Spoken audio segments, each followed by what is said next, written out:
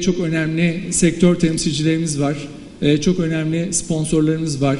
Ben açılış konuşmalarının bitmesini bekledim. İzninizle öncelikle sponsorlarımıza çok teşekkür ediyoruz. Platin sponsorlarımız Vartaş, Etik Kentsel Dönüşüm, Kodval Banker Türkiye, Erşat Müşavirlik, Nuhoğlu İnşaat, Oftan İnşaat, Kuyaş Kuyumcu Kent.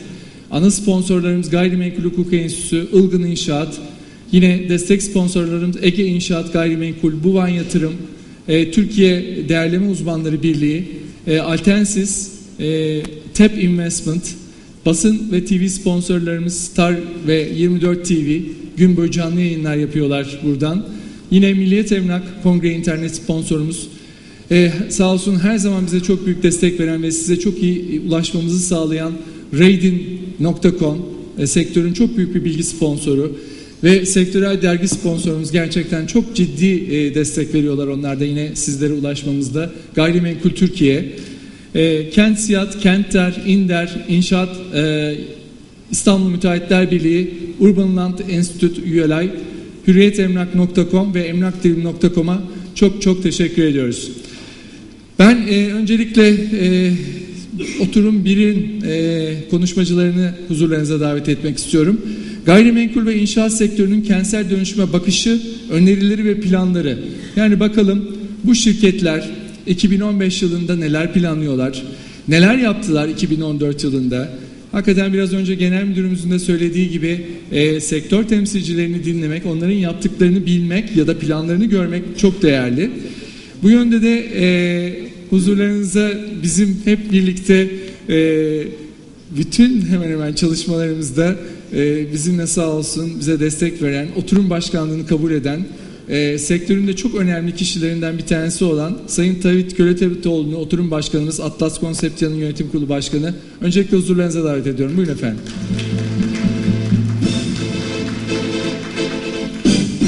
Evet, e, sağ olsun bize çok destek verdi Vartaş ve gerçekten şu anda e, Fikirtepe'de yaptığı güzel proje ile hayata geçecek olan inşallah ve çok iyi bir proje olacak ve onun dışında da çok önemli çalışmalar yapıyor Vartaş.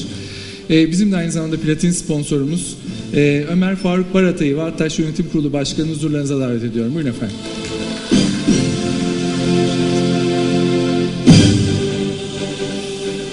Evet, e, Ali Bey sağ olsun Gayrimenkul Hukuku Enstitüsü İşin hukuk tarafı tabii çok önemli. Yani hukuki tarafı ve hukuki boyutları kentsel dönüşümün çok önemli. Ve bu konuda e, gerçekten bize hep destek veren ve aynı zamanda iyi bir bilgi oluşturmuş e, kişilerden bir tanesi avukat Ali Yüksel. Huzurlarınıza davet ediyorum efendim. Buyurun. Hoş geldiniz. Evet. E, çok değerli yine platin sponsorlarımızdan Nuhoğlu İnşaat'ın yönetim kurulu başkanı Sayın Ali Nuhoğlu'nu huzurlarınıza davet ediyorum. Buyurun efendim.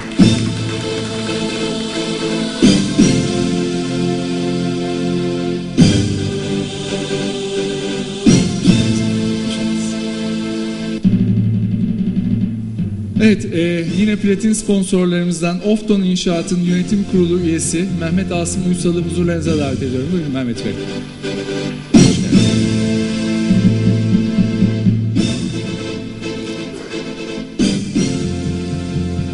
Yine e, Kuyaş'ın e, Kuyaş yine platin sponsorlarımızdan e, Kuyaş'ın genel müdürü Kuyaş Kuyumcu Kent AŞ'nin onlar da bu konularda inanılmaz çalışmalar yapmaya başladılar. O yüzden e, kendilerini huzurlarınıza davet ediyorum. Salih Sağında. Buyurun efendim. Hoş geldiniz.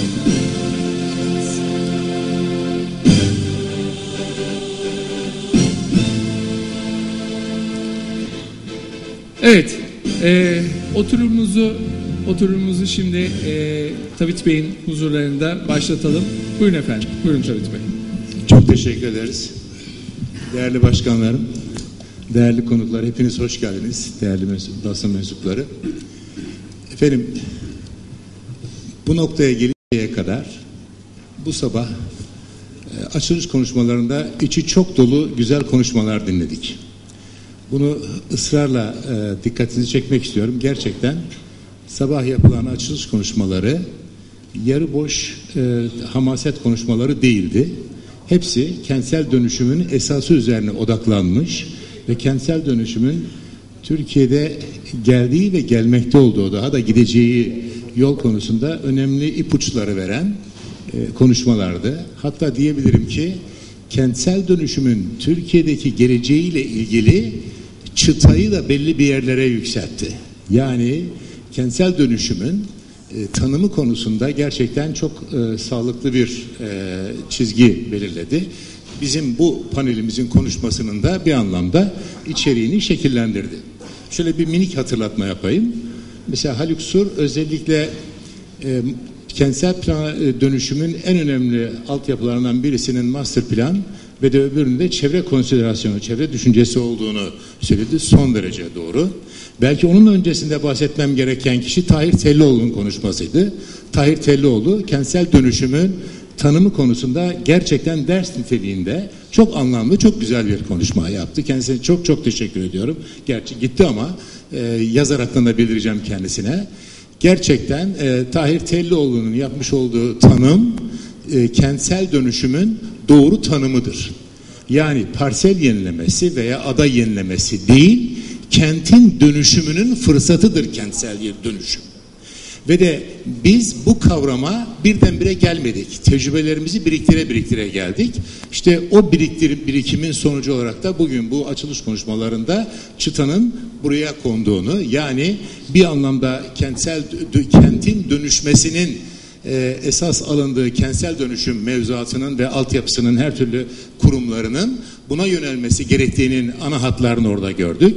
Keza Vedat Bey'in konuşması aynı nitelikteydi. O da zaten çıtanın ne kadar yüksek e, olduğunu hepimize bir kez daha e, söyledi ve dedi ki bu bir yaşam projesi dedi. Doğru.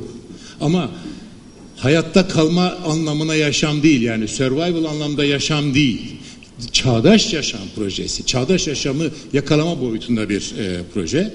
Nihayet e, Rıfat Hisarcısoğlu da gene aynı e, e, başlıkta e, katkısını şöyle koydu bence.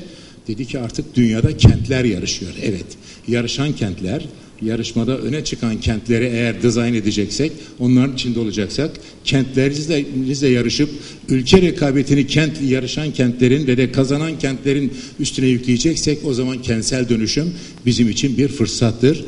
Kenti dönüştürmek bir e, fırsattır. Dolayısıyla ben e, bu sabahki e, açılış konuşmalarında bütün arkadaşlarıma e, hakikaten teşekkür ederim. E, İnder'in eski başkanının da yapmış olduğu konuşma gerçekten nereden nereye geldiğimiz konusu, konusunda güzel bir e, açılıştı. Hepsine çok çok teşekkür ediyorum. İçi dolu, güzel ve bize çıtanın yüksek olduğunu söyleyen konuşmalardı. Buradan e, geçtiğimiz zaman her şeyden önce burada sektörün değerli mensupları var. Birisi hariç, Ali Bey hariç, diğerleri hepsi gayrimenkul ve inşaat sektöründen arkadaşlarım. Bu benle beraber, hepimizle beraber açılış konuşmalarını kendileri de dinlediler. Zaten e, belki de şeyde gerek de yok. Çünkü hepsi zaten yıllardır bu işin içinde arkadaşlar. Ben e, sözü fazla uzatmadan onların görüşlerini bir e, sizlerle paylaşmak istiyorum. Zaten bu konuşmanın başlığı konurken e, sektörün kentsel dönüşüme bakışı denmiş. Biz onların bakışını bir e, özellikle bir alalım ama ben yine çıtanın yüksekte olması kaydıyla bakışlarını e, istiyorum. E, ama onun öncesinde önce ilk konuşmayı e, bir 8-10 dakikayla sınırlı olaraktan Ali Bey'e vereyim. Mevzuat boyutunda bize nereden nereye geldiğimizi ve bu çıtayı yukarı koyuyor isek mevzuatın da bize ayak uydurup uyduramadığını, uyduramıyorsa nerelerde nelerin yapılması gerektiği konusundaki fikirlerini paylaşsın. Ondan sonra e, sektöre sözü vereceğim. Buyurun Ali Bey. Teşekkür ediyorum. Sizden bir ricam var Ali Bey. Önce e, kendinizi ve e, kurumunuzu çok kısa bir tanıtınız lütfen.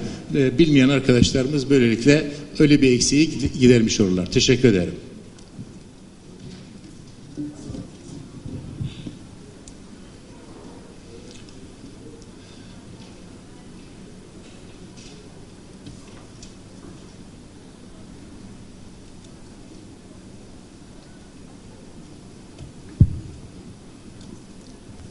Öncelikle herkese hoş geldiniz diyorum ve saygılar sunuyorum. Sayın Başkanım da e, bana 10 dakika verdiği için kısa tutmaya çalışacağım. Daha evvel yetişmediğini biliyor o yüzden kısa 10 dakika. Bir, aslında bir dakika uzatmışsınız. Tabii tabii. Biraz uzattım evet. Gayrimenkul Hukuk Enstitüsü e, gayrimenkulün e, Türkiye'de gayrimenkul fiil gibi tanımlanamaz bir e, kavram ve tanımlamaya çalışmak adına 7 yıl önce kuruldu. E, gayrimenkulün teknik konularını içeren ve gayrimenkulün ana başlıklarını derinlemesine ele almaya çalışan bir e, bilimsel çalışmalara ağırlık veren üniversitelerle, sivil toplum kuruluşlarıyla, e, gayrimenkul paydaşlarla çalışan bir kuruluş. E, daha çok teknik çalışıyor diye özetleyebiliriz. Ben de başkanlığı yapıyorum. Kentsel dönüşümle alakalı çok konuşmalar yaptık. Çık kanun çıkmadan da yaptık. E, çıktıktan sonra da yaptık ve halen yapıyoruz. E, şöyle bizim bakışımızda çözüm önerileri, sorunlar e, kısaca e, mevcut süre içerisinde e, değerlendirmek istiyoruz. Tabii 2013-2014'te gayrime bu kentsel dönüşüm mevzuatın anayasanın üstünde bir mevzuat olduğunu vurgulayarak geçti. Bununla alakalı tekrar etmek istemiyorum ama 2015'te kentsel dönüşüm mimarlıkta, planlamada, inşaatta, hukukta, siyasette artık geri dönülemez bir noktaya gelinmiş bir kavram olarak, vaka olarak yerini aldı. Artık dönemiyoruz. Herkes benimsedi.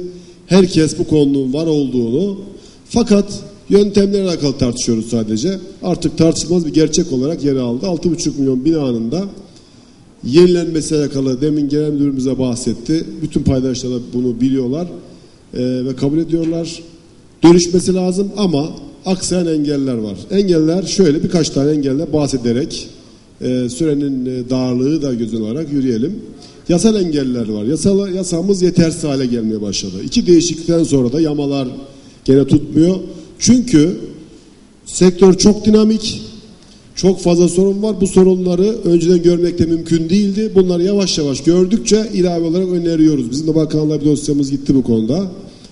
Ee, bele, belediyelerin uygulamayla alakalı e, sıkıntıları var. Ee, tahliye ve yıkımda görev almak istemiyor belediyeler. Açıkça direniyorlar biraz belediyeler bu konuda. Ee, seçmene baskı yapmak istemiyorlar. Bu önemli bir engel olarak görünüyor.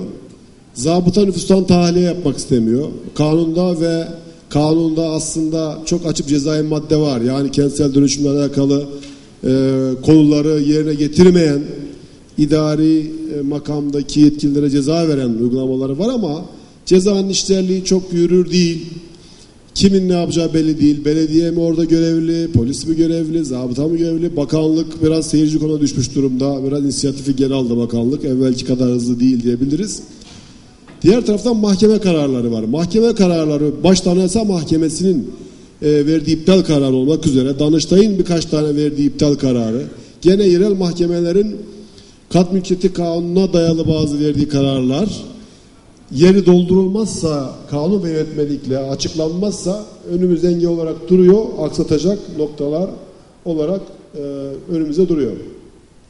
Gene tapuda ipotekli hacizli gayrimenkul üzerindeki kayıtların aktarılmasında problemler var. Muvaffakatnameler gereki, gerekiyor. Halbuki uygulamada kanunda açık. Resen yapılır diyor. Tapular burada işlem yapmak istemiyorlar. İSKİ, Ayadaş gibi e, kurumlar hasarlı binanın elektriğini, suyunu kesmiyor, kesmek istemiyor. Zorluyorlar. Bu uygulamada aşırı büyük bir maliyet oluşturuyor aslında. Yani bir projenin 6 ay bir sene gecikmesini yol açabiliyor. Mahkemeler de buna bir şey yapamıyor. Ee, böyle bir boşluk var. Buna yönetmelikte veya kanunda düzenlenmesi gerekiyor. Güçlendirme talepleri. Biliyorsun güçlendirme eklendi ama güçlendirme alakalı bir kere e, bakanlık yahut da mevzuat yeterli desteği vermiyor. Yıkım yapmayı daha, daha çok destek veriyor. Aslında eski kent bölge, bölgelerinde yani Şişli gibi, Kadıköy gibi yahut Ankara'nın bazı merkezi yerlerindeki gibi imarlı iskanlı bölgelerde çoğu yerde imar da düşmüş durumda yahut imar ilave edilemiyor. Orada güçlendirme taleplerini bakanlığın desteklemesi lazım. Yani sadece yıkmayı yapmayı değil, güçlendirmeyi de desteklemesi lazım ki o bina da yıkılmadan yürüyebilsin. Çoklu mülkiyet, bu çok önemli. Çoklu mülkiyet sorunları aslında bu salondakilerin en fazla karşılaştığı sorunlar.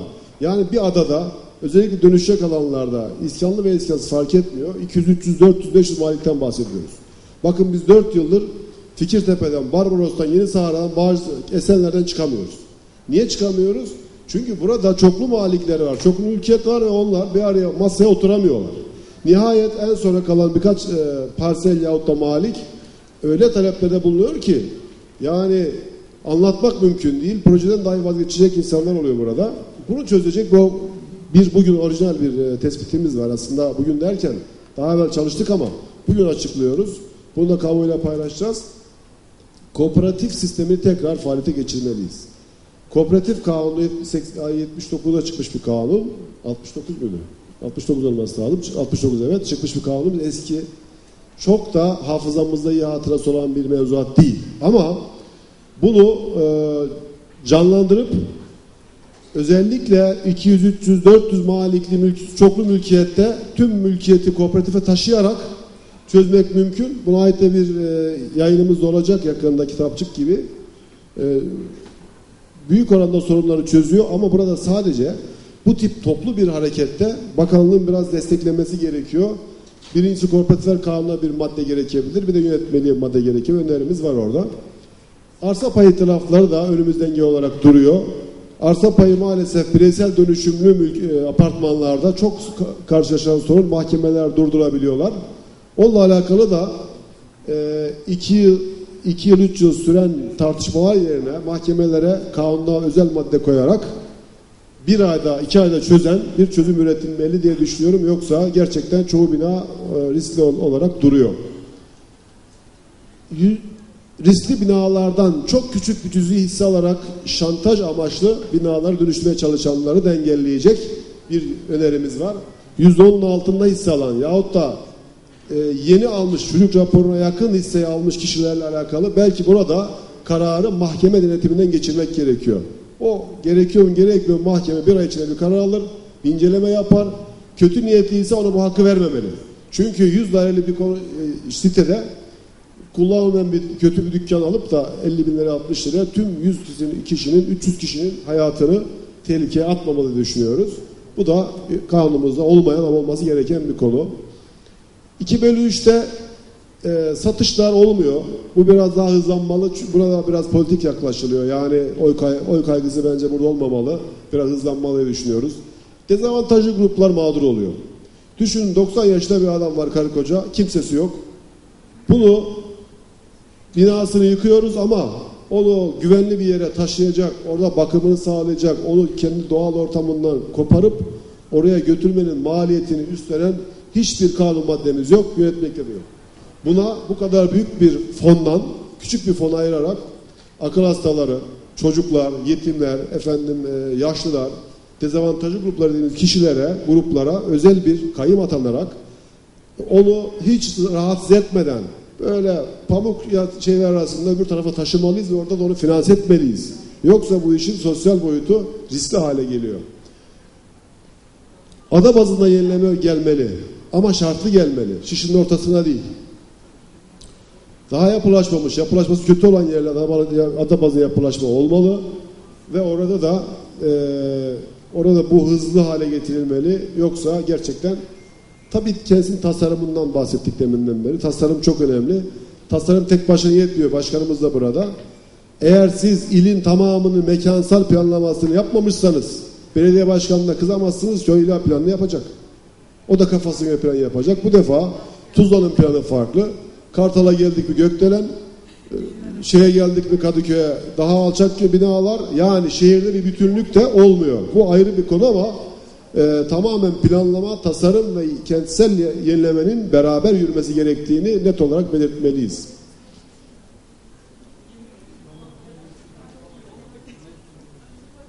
Rezerv alanlarında çok şeffaflık yok mu? Biraz de tekrar bakanlığın dikkatini arz etmek istiyoruz. Orada kamulaştırma ile alakalı sıkıntılar var. Çok düşük bedeller e, veriliyor. TOKİ'ye şerh koydurarak e, mağduriyetler söz konusu. Bunların üzerine durmak gerekiyor. Yoksa e, konu efendim mağduriyetler üzerine kurulmuş bir kentsel tasarım oluyor.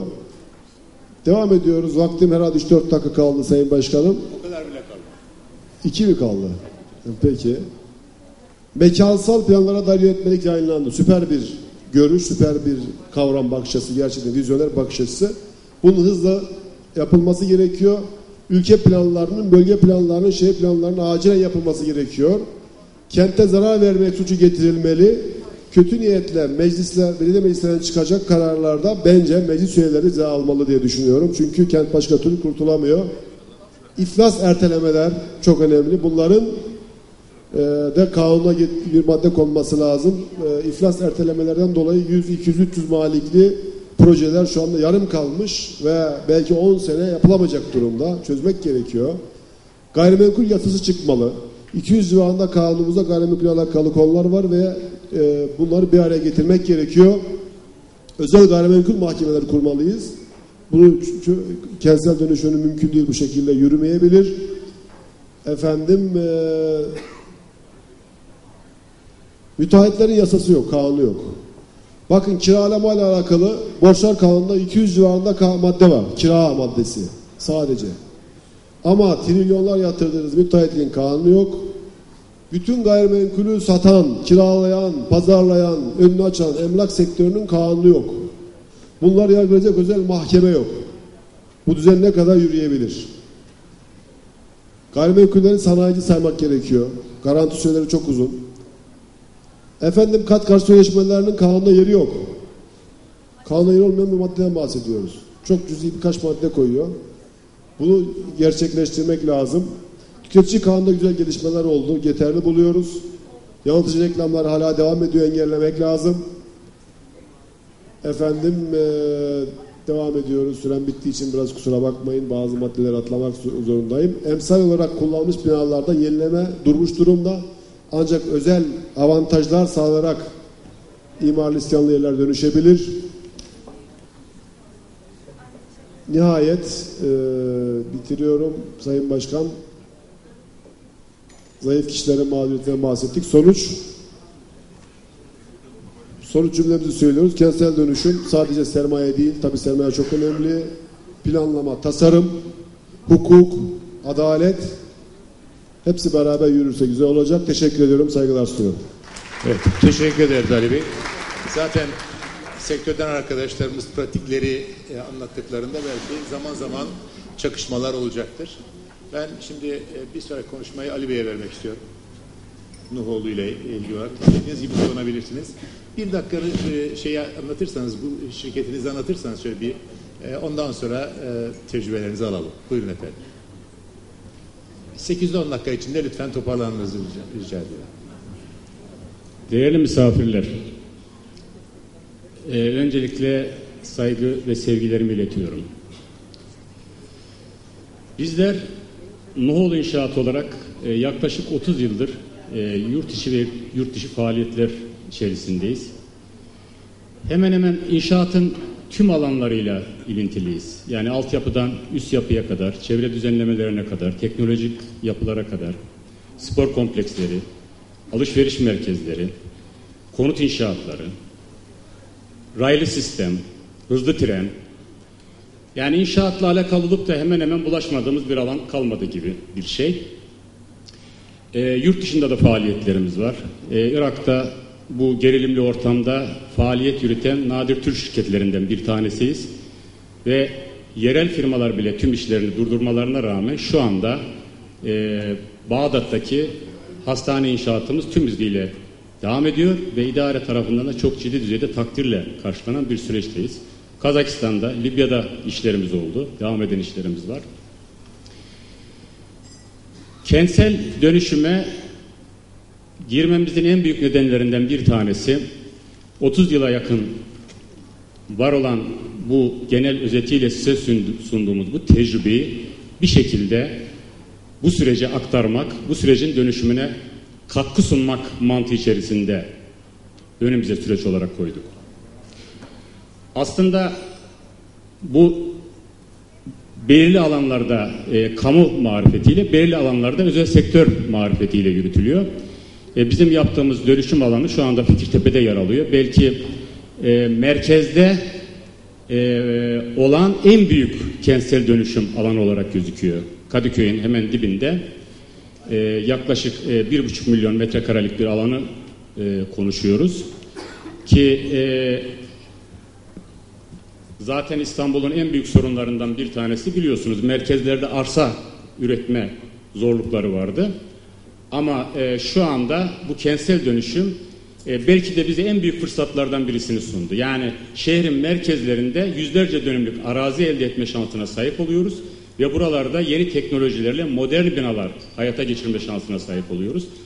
Bu ülke için geçmişe dair çok büyük bir talihsizlik ama geleceğe dair de çok büyük bir şanstır ama bunu iyi değerlendire, değerlendirebilirsek. Aslında biraz da dünyada bence şey dönemi de kapandı. Yani ben yaptım oldu, bir şeyi dikte edeyim yapayım. Ee, sonuçta bakıyorsunuz ne kadar gücünüz kudretiniz olursa olsun bir yerde duvara tosluyorsunuz. Bugün toslamazsanız yarın tosluyorsunuz. Onun için e, bu tip e, sosyal dokusu e, çok güçlü olan ve e, özellikle toplumun değişik kesimlerini ilgilendiren konularla alakalı mutlaka bir mutabakatla gitmek doğrudur. Yani e, bakanlık e, büyük şehirleri dinleyecek, büyük şehirler ilçe belediyelerini dinleyecek, ilçe belediyeleri gerekirse muhtarları bile dinleyecek. Yani bölgede en alt birimden merkezi yönetime kadar var olan süreçte insanların karşılık konuşarak sonuca ulaştırmaları gereken bir yaklaşım sergilememiz gerekiyor. E şimdi tabii ben burada son dönemde özellikle Çevre ve Şehircilik Bakanlığı'nın kangrenleşmiş Fikirtepe sürecine müdahalesini çok olumlu görüyorum söyleyeyim. Açıkçası biraz da tıkanmıştık. 3 e, yıllık süre içerisinde ödediğimiz kiralar e, tam sırtımızda e, kaldırılmayacak bir kambur boyutunda ortaya çıkmıştı. E, son süreçte e, gerek e, projelerin hızlandırılması, gerekse istimlak sürecinin hayata geçirilmesi. Bu çok önemli bir karardı. E, bu noktada da bakanlık çok ciddi düzeyde kararlı davrandı ve en azından iki istimlak gerçekleştirdi ve tüm ada e, sakinlerine de ya e, yüzde yetmişi geçen firmayla anlaşın ya da ben bu sürece müdahale ederim, gereğini yapın, e, tebligatını göndermiş durumda. Bunu ben çok önemsiyorum. Ama bir taraftan da şunu bir eksiklik olarak görüyorum. Şimdi bakın bir buçuk milyon metrekare kaldı ki İstanbul'da Esenler, Gazi Osman Paşa onlarca ilçede dönüşüm yapıyoruz. Ülkenin hemen hemen yüzde 40 konutlarında, binalarında bir dönüşüm süreci yaşayacağız. Yani biraz böyle hızlı gitme adına acele ediyoruz ama başında yapılması gereken, sağlıklı gelişme adına yürünmesi gereken rotayı yanlış gidiyoruz. Şimdi kötü mü olurdu? Yani Fikirtepe'de düşünün bir Taksim gibi bir meydan. Ona uzanan işte Abdi İpekçi, İstiklal, Bağdat Caddesi gibi caddelerin olduğu, E5 bağlantıların düşünüldüğü, altyapının galeriler şeklinde çözüldüğü. Büyük ana caddelerin altında bunu çok önemsiyorum ben Avrupa'da örnekleri var. Otoparkların yapıldığı.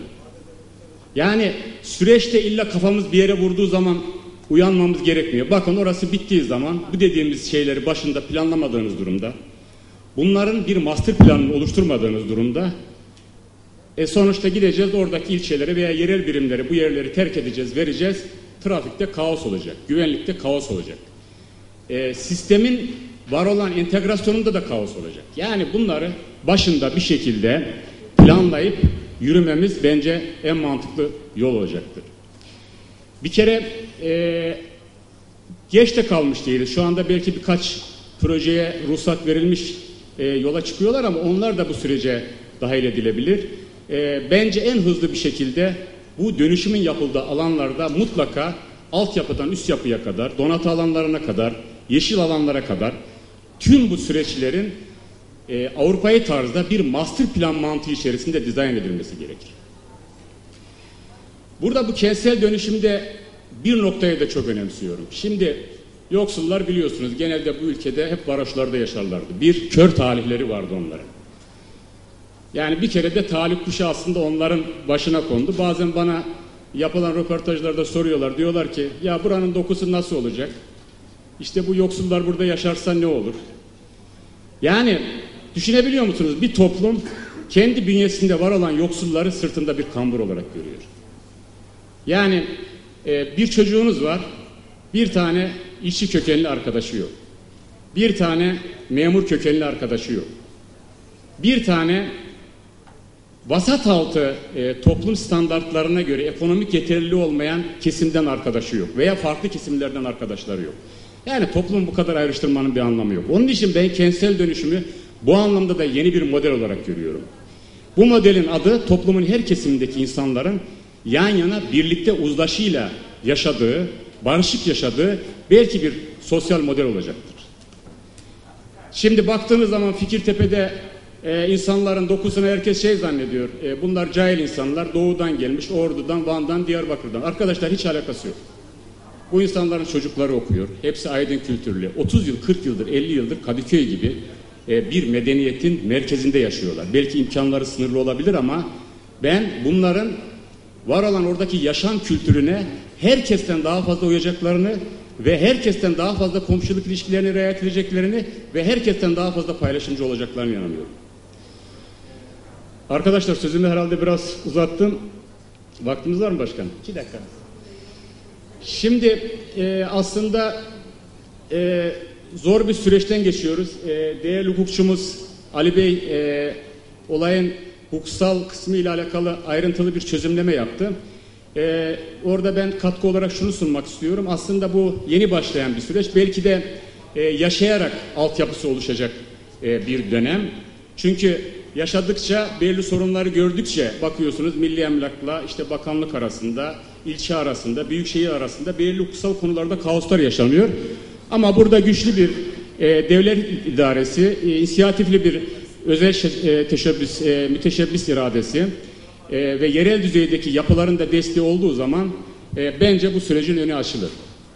Yani son sözümü şöyle bağlayacağım. E, biliyorsunuz bunu hata, hayatıyla e, bedel olarak ödeyen bir e, belki de en eski demokratlardan bir tanesidir. Ünlü Romalı Cicero. Onun çok güzel bir lafı var. Der ki paranızı kaybederseniz bir şeyinizi kaybedersiniz. Onurunuzu kaybederseniz e, çok şeyinizi kaybedersiniz. Ama cesaretinizi kaybederseniz her şeyinizi kaybedersiniz. Ya bir yol bulacağız ya da yeni bir yol açacağız arkadaşlar. Bunun başka bir yolu yok. Bu ülkeyi bir baştan bir başa, bir uçtan bir uca dönüştürmek bizim görevimizdir. Bunu bir ulusal görev olarak görüyorum ve herkes, kamu, özel sektör, toplumun tüm kesimleri bu konuda üzerine düşen görevi sonuna kadar yerine getirmelidir. Saygılarımı sunuyorum. Teşekkür ediyorum. Teşekkür ederiz Sayın Nuhoğlu. Confucius diyor ki efendim ya bir yol ol ya bir yol bul ya yoldan çekil. Bu Confucius'un lafı 3000 yıllık laf. Evet şimdi konuşma sırası Ofton'da e, Mehmet Bey'di değil mi? E, o, Mehmet Bey istediğiniz, isterseniz yerinizden isterseniz oradan. Önce bir şirketinizi şöyle bir kısaca bir lütfen tanıtın. Ondan sonra e, sunuşunuzu alalım. Ee, öncelikle hoş geldiniz diyorum herkese. Hem e, kamudan hem özel sektörden gelenlere. E, biz Ofton İnşaat olarak e, yaklaşık 30 yıldır e, bu sektörün içinde çok önemli projeler imza attık. E, bunlar içinde e, konut projeleri, e, rezidans projeleri, otel projeleri, e, alışveriş merkezi projeleri hepsi var. E, yurt dışında projemiz olmadı. E, ağırlıklı İstanbul'da e, merkezin de merkezinde diyebileceğimiz yerlerde proje gerçekleştiriyoruz. E, işte Şişli bölgesi olsun, Beşiktaş bölgesi olsun, e, işte Üsküdar bölgesi olsun buralarda projeler gerçekleştiriyoruz. E, önümüzdeki 2015-2016 yılları içerisinde de birçok e, projemizi, lansmanımızı e, gerçekleştireceğiz. Hafta bu şekilde. E, tabii bir gerçek var, deprem gerçeği. Şu anda burada konuşma yapan hem başkanlar, kamudaki başkanlarımız hem özel sektör temsilcileri bir deprem gerçeğinden bahsettiler. Bizim çok acil bir şekilde bu deprem gerçeğiyle e, bir daha yüzleşmeden bu kentsel dönüşümü hızlandırmamız gerekiyor. En net konu bu bence. Ee, burada çok ciddi bir e, sosyal ve ekonomik zarar yaşadık bundan önceki 20 yılda.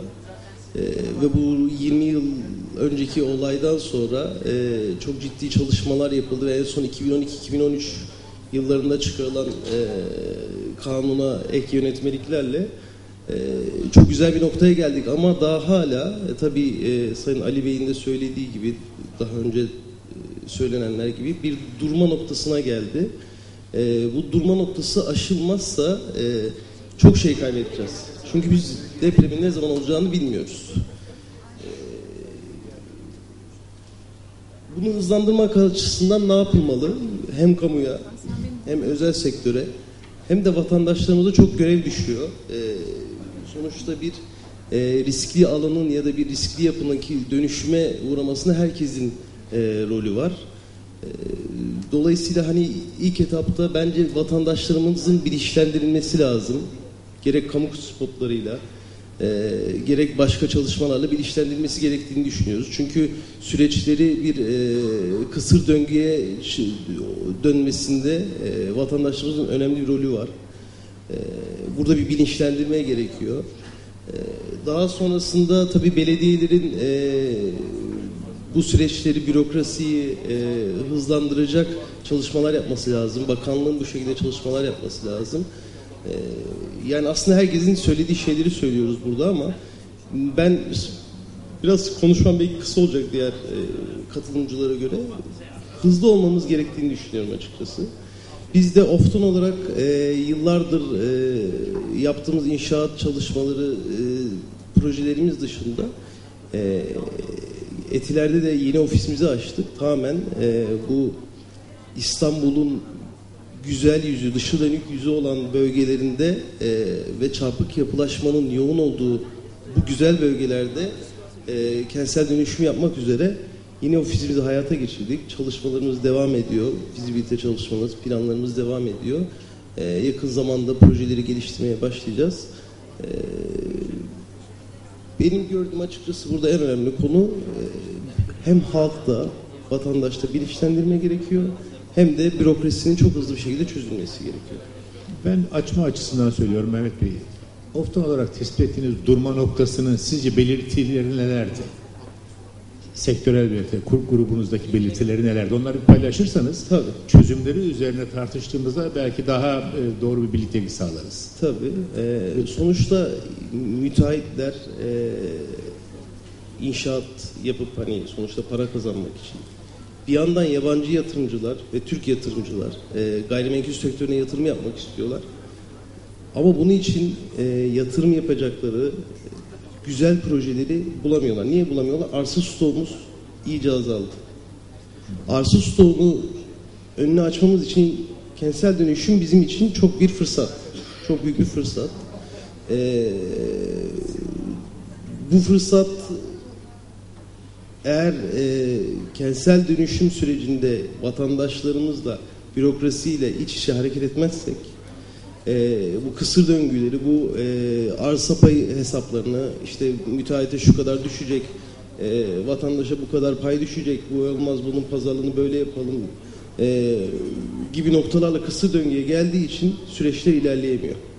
Bizim demek istediğimiz konu bu aslında. Anladım. Yani işin arz ayağında arsa stoku üretilmediği için yeterince talep olmasına rağmen bir durma noktasına geldik diyorsunuz. Aynen öyle. Aynen öyle. Biz yani çok güzel bölgelerdeki projelerimizde e, özellikle şehrin merkezinin merkezi dediğimiz projelerde e, çok ciddi yabancı yatırımcı talebiyle karşı karşıyayız. Onlara belki üçüncü, dördüncü projeyi aynı yerde üreteceğiz ama anlaşamıyoruz.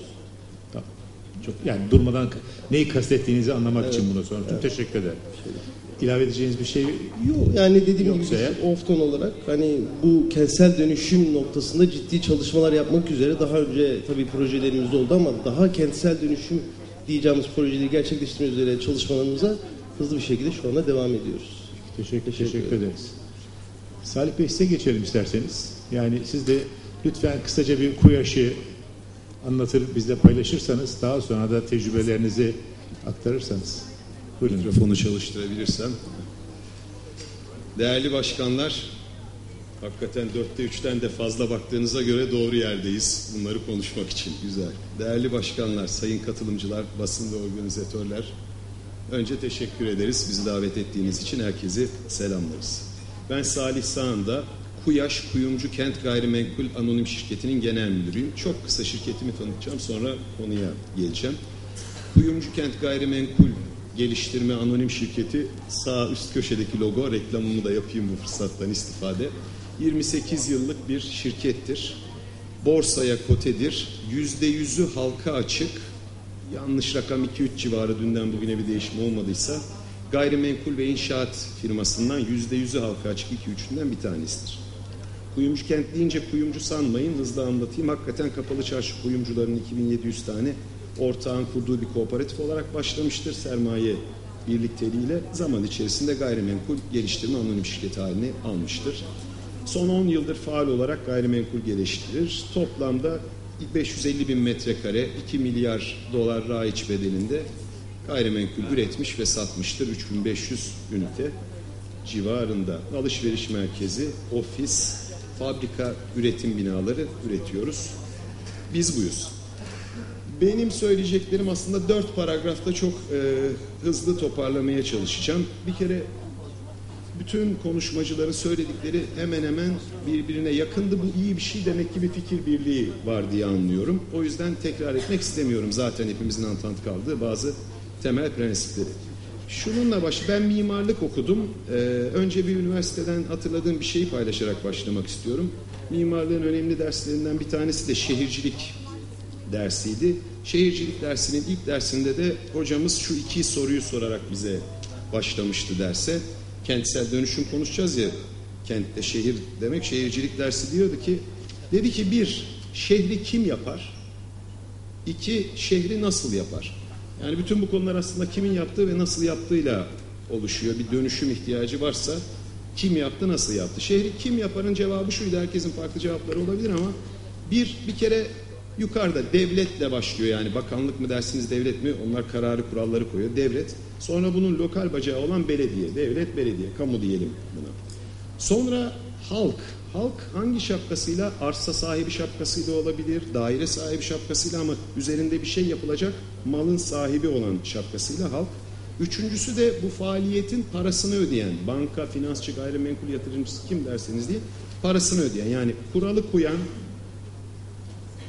talebi doğuran bir de bu talebin finansmanını yapanların nereye çekmesiyle oluşan bir şey, şehir. Yapanlar bunlar, üç kişi. Nasıl yapılıyor şehirler? Bu üç kişi nasıl yapıyor şehri? Şehirleri insanların ihtiyaç ve imkanları, hani üç tane saydık ya ikincisi insanlardı, onların ihtiyaç ve imkanları, ihtiyacın olur imkanın olmaz, imkanın olur ihtiyaç, ihtiyaç ve imkanları ve kamunun potansiyeli, birinci sorumlu var diye, kamunun hangi potansiyeli? Planlama potansiyeli, otoritesini kullanma potansiyeli, regüle etme potansiyeli belirliyor. Bunlarda bir şeyler doğru giderse güzel doğru şehirler oluyor yukarıdaki resme benzeyen doğru şehir örneği o konulmuş. Bir şeyler yanlış yapılırsa da aşağıdakine benzeyen şehirler oluşuyor. Birincisi bu yani o şehircilik dersi tecrübemi size aktarmak istedim. Bu konuşma bana onları hatırlattı. Kim yapar şehri ve nasıl yapar şehri. İkinci başlığım kentsel dönüşüm konuşacağız. Demek ki dönüş kentinin ne olduğunu hepimiz biliyoruz da dönüşümden bahsediyorsak eğer dönüşme ihtiyacı var demektir. Dönüşme ihtiyacı da geçmiş, bugün, gelecek geçmişten gelen bir takım sıkıntılar falan var ki bir dönüşüm ihtiyacımız var demektir. Zaten yani herkesin bildiği bir şey söylüyorum ama şöyle bir özetleyelim. Geçmişten sıkıntımız ne? Görsel olarak özetlenmiş. Şu alttaki yerlerde yaşıyoruz biz. Ee, bir sürü sıkıntısı var onları da söylemeye gerek yok. Ama önce bugünü ve geleceğe bakmadan o geçmişte neyi yanlış yapmışız? Kimi belirledik de nasıl da anladık da neyi yanlış yapmışız bir anlamamız lazım. Herkesin çıkarttığı ders farklı olabilir ama ortak olduğunu anlıyorum konuşmalardan. Bizim çıkarttığımız ders bütün yapılan hataları 3-4 sepette toplayabiliriz. Bir, bizim ülkenin nüfusu artmış. Türkiye konuşuyoruz yani başka yerde konuşmuyoruz. Nüfus artmış, iç göç olmuş. İç göçle beraber şehirleşme artmış. Bazı şehirlere çok talep olmuş. Neyse plansız şehirleşmişiz. Kaçak yapılaşmışız. Kanunlar uygulandı. Bütün bunlar olmuş olmuş olmuş. Fark etmişiz fark etmemişiz ama hepimize ülkemize geçmiş olsun. Bir büyük deprem olunca ne yazık ki can kaybıyla uyanmışız. Allah biz bir şeyleri yanlış yapıyoruz. Dönüşme ihtiyacı bir şeyleri düşer, düzeltmezsek başımıza iş açılacak demişiz. Ve durmuşuz. Bugün hala oradayız yani bir takım ve geleceğe dair planlar yapıyoruz. Çok güzel bu planların yapılması tabii ki. Şunu da belirtmek lazım. Ne bir konuşmacının söyleyeceğiyle bu kurtulur. Ne böyle on toplantıyla kurtulur ama bunların tabii ki yapılması lazımdır. Hepsi sürece bir katkıdır. Hepimizin hedefi ortaktır. Ee, biraz önce Ali Bey söyledi. Bu hakikaten vatan borcudur. Biz de öyle katılıyoruz. Kentlerimizi, ülkemizi dönüştürmeliyiz. Şimdi devam ediyorum. Dönüştürme ihtiyacı şeyden çıkmış. Deprem bizi uyandırmıştır ama ve hakikaten yapılarımızın çoğu depreme karşı dayanıksızdır. Diğer afetlere karşı dayanıksızdır. Bunların düzeltilmesi lazım tamam ama bunun dışında da sebepleri var kentsel dönüşümün. Tek, tek sebep o değildir. O yüzden onları da bir tespit edelim. Bir, evet deprem ve diğer afetlere karşı güvenliğin arttırılması. İki, altyapı entegrasyonu yapıyor. Altyapılarımız da feci durumdadır. Geçmişte ne olmuşsa olmuş altyapılar da kötü, bugün de kötü. 5 saatte trafikte gidiyoruz, yol kötü, hastanemiz yok falan. Bu vesileyle kentsel dönüşümünde şu fırsatı da değerlendirmeliyiz. Altyapı planlamamızı, entegrasyonumuzu yapmalıyız. Üç, şehirlerin modernleşmesi. Yani 30, 40, 50 yıl önce yapılan yerlerde yaşıyoruz. Bir de depreme dayanıksız, bir de plansız kötü. E biz yani gelecek 60 yılı planlamalıyız. 60 yıla uygun binalar yapmalıyız. Bu vesileyle bu fırsatı kullanarak şehirlerimizi modernleştirmeliyiz. Dördüncüsü yani ülkemizin cari açığının çoğu enerjiden geliyor. Hepimizin cebinden para çıkıyor. Bunu bir fırsat olarak kullanıp enerji verimliliğini, enerji kaybımızı azaltmayı da gündeme almalıyız. Kentsel dönüşümün bir bacağı da bu olmalı. Bu fırsatı kullanmalıyız. Çevreye duyarlı şehir, çevre artık böyle bir sosyete lafı olmaktan çıktı. Dünya elden gidiyor. Hakikaten kentsel dönüşümü konuşurken yalnız deprem deprem değil, çevreye duyarlılığı da göz önüne almalıyız. Yapı stoğumuzu bu fırsatla yemeni yenilemeliyiz. En sonunda da geldik paraya. E, bunu yapmak e, dönüşüm demek, sektörel büyüme demek. Türkiye'nin ekonomisinin yüzde on beşini oluşturuyoruz. Sektör büyümede, ekonomide büyüme demek sektörde büyümede.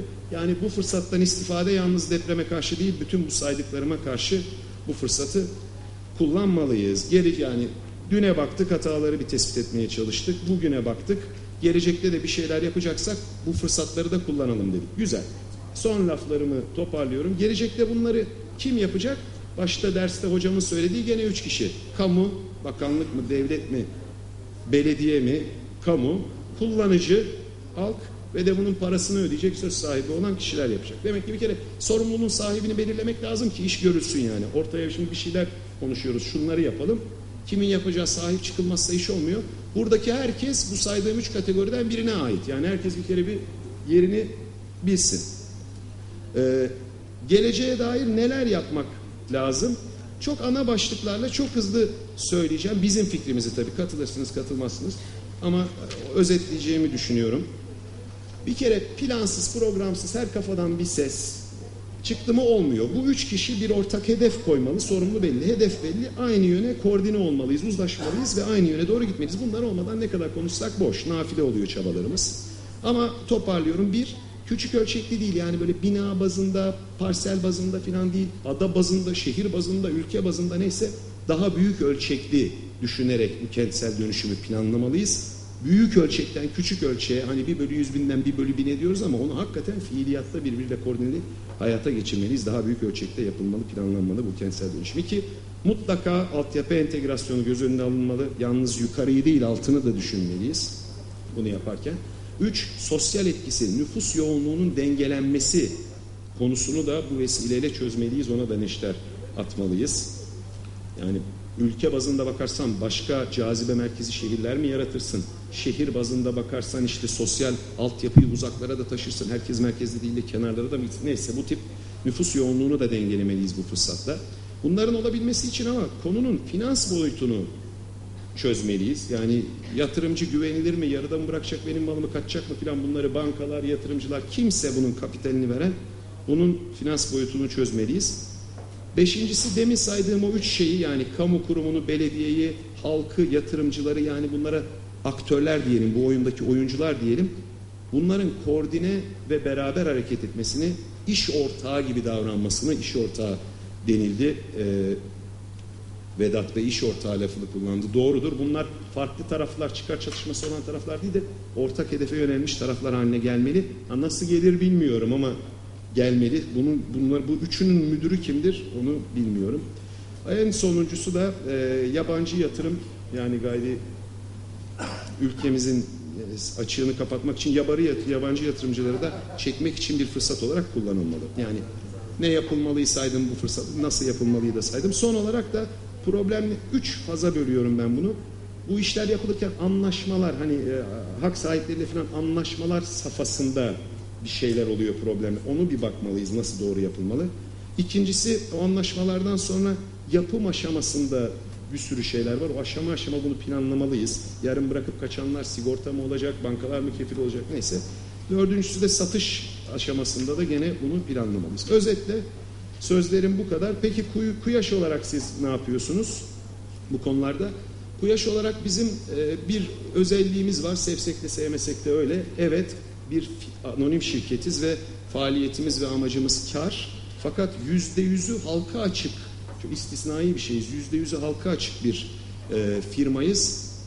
Ticari şirket olarak kar etme amacımız var, sorumluluğumuz var. Ama yüzde yüze halka açık olduğu için belki siz de benim ortağımsınız, belki siz de benim ortağımsınız bilmem mümkün değil.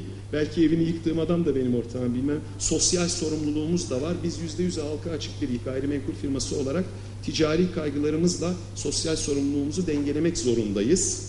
O yüzden bu kentsel dönüşüm konularına demin saydığım şeylerde şununla bakıyoruz. Biz katiyen parsel ölçeğinde filan işlere girmiyoruz.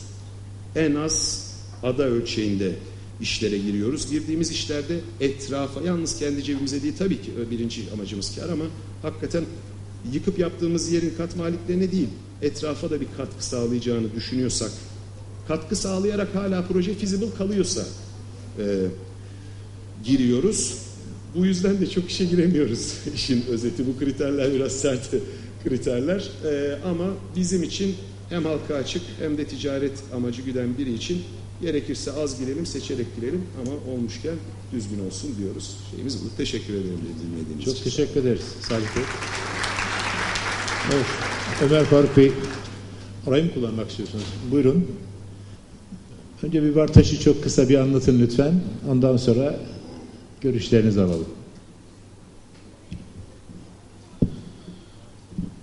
Sayın Genel Müdürüm, değerli belediye başkanları ve İnşaatçılar Dernek Başkanımız ve kıymetli konuklar.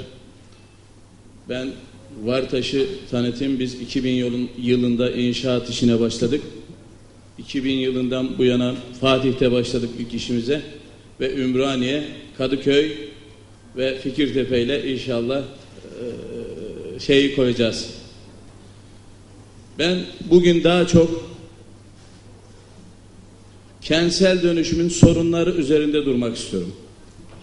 Sağ olsun bakanlık 3'te 2 uygulamasıyla beraber bizim bir takım sorunlarımızı çözdü. Geç de olsa sağ olsunlar. Teşekkür ediyorum kendilerine. Vedat Bey de burada bulmuşken bir takım sorunları dile getirmek istiyorum. Yani hep birbirimizi metleyerek, hep birbirimizi alkış çalarak bu meseleleri çözemeyiz. Aslında çözüm odaklı konuşmamız lazım. Sorunları konuşmamız lazım. Var olan bugünkü sorunlarımızı konuşmamız lazım. Değerli arkadaşlar. Ben kentsel dönüşümün yani sade bir merkezden yürütülmesinin doğru olmadığına inananlardanım. Yani 81 ili ya da yaklaşık 800 ilçeyi sade Çevre Bakanlığı'ndan, Ankara'dan idare etmek kolay değil. Bence kentsel dönüşüm her ilin kendi içinde, kendi büyükşehir belediyelerinde ya da ilçe belediyelerinde bir takım sorunların çözülmesi lazım ve bakanlıktan sadece görüş alması lazım diye düşünüyorum. Ama tabii yetki bizde değil, yetkililerde. Ama bizim temennimiz, görüşümüz bu. Kentsel dönüşüme ben ta başından belli diyorum ki demirden leblebi. Yani çiğneyip lokmasını yutanlara helal olsun diyorum. Bu yasalarla, bu bu bu sıkıntılı süreçle. Neden? Biz Ali Bey'le beraber Ali Bey de burada 2011 yılının Mart ayında Fikirtepe'de kentsel dönüşüme başladık. Yaklaşık işte bu ayın başı gelirse herhalde 48 ay olacak. Çok ciddi bir süreç, çok sancılı bir süreç. Bunu daha kolaylaştırmamız lazım. Kentsel dönüşümde sadece vatandaşla yani hak sahipleriyle müteahhitlerin bu meseleyi çözmesi mümkün değil. Burada şu olmalı.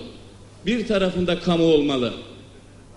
Vatandaş yerini verirken müteahhite güvenmeli. Müteahhiti kim test edecek? Yine o da kamuya düşüyor ya da ilgili belediyelere düşüyor diye düşünüyorum. Çünkü kentsel dönüşüm çok zor bir iş. Biz yaşadık, basına da yansıdı.